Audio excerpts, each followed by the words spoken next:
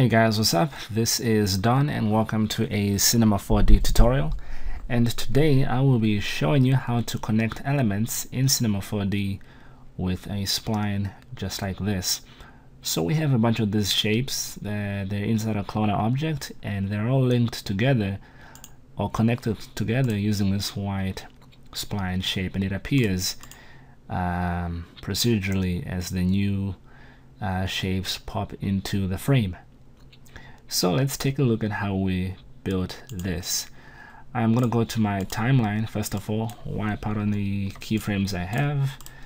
Let's remove all of this stuff and all we are left with is this cloner object and it's set to the radial mode and it has 50 clones and uh, we just need to animate its radius and its count.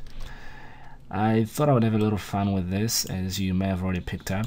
These are indeed the colors of the rainbow. Uh, so that will be Richard of York gave battle in vain or Roy G. Biv. Um, those are the only two. Ah, damn, I forgot what that thing is called. Um, abbreviations, that's the one. I guess the first one is not an abbreviation. Um,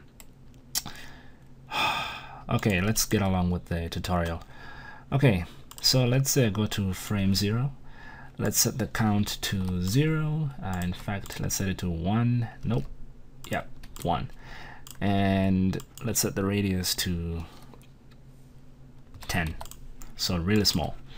And let's keyframe this by holding control and clicking the little circle next to those words Let's move forward to frame 90, which is 3 seconds in my animation. Put the count up to 50 and the radius up to, let's say, 300. And again, hold control and click those yellow circles until they are red and we have set a new keyframe. So we have this animation. You can see it's very jagged and doesn't look very nice at all uh, and these are just two bunched up. So let's go to MoGraph effector and random. Let's go to the effector tab. Oh sorry the parameter tab. And let's say increase the position to let's say 200 on the X 200 on the Y and 500 on the Z.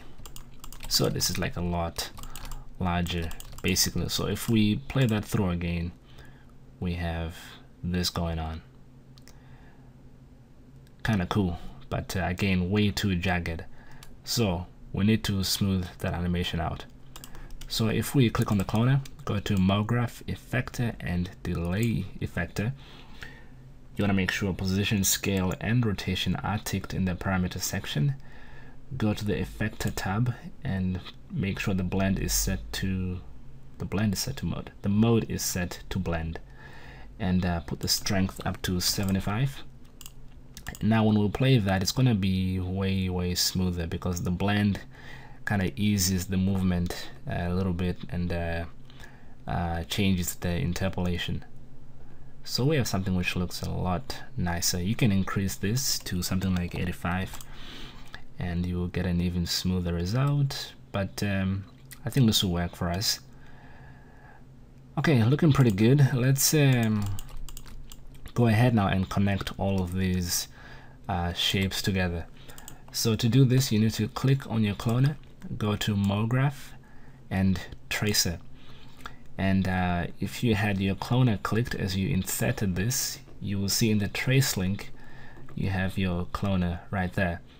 So the tracing mode, we want to change this from trace paths to connect elements. And now when we hit play we get this crazy white uh, spline connecting all of our elements together. It runs from the first clone through to the last one. And that's exactly what we want. However when I hit render you see that there is no spline linking all of this. We can only see it in the hardware preview so to fix this, we need to use the sweep NURBS object with a circle and then use this together with the tracer to generate some geometry for that spline. So if we make the circle, uh, if we give the circle a radius of 2, we can get the tracer and the circle, drop them into the sweep NURBS with the circle above the tracer, and now we have some actual geometry linking these shapes together.